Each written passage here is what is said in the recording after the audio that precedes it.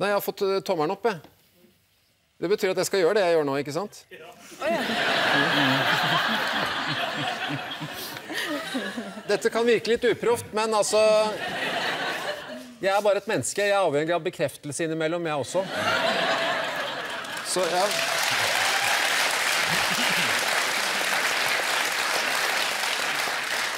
Hvis jeg kan få en tommel opp, ja, så blir jeg glad.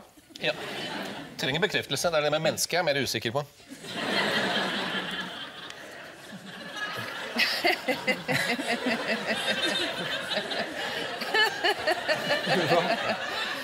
Det, det hørte jeg ikke engang. Hva er det?